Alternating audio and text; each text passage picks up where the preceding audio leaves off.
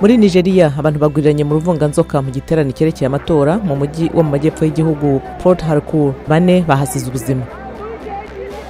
Akanama gashinzwe impunzi muri norvege kabwiye abategetsi ba kameruni ko badakwiye gufunga imipaka y'igihugu cyabo. Ku mpunzi ibihumbi z'abanyanigeriya bahunga ibitero by'abarwanyi b'umutwe wa boko haramu iran hafi y'umupaka.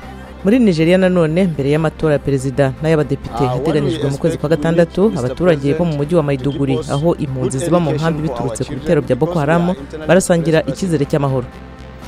Afurika y'epfo ikomeje kwibasirwa n'ifungwa ry'umuriro igikorwa kigeze ku munsi wa gatatu mu gihe impaka ku maherezo y'isosiyete itanga umuriro hafi ya hose mu gihugu zikomeje.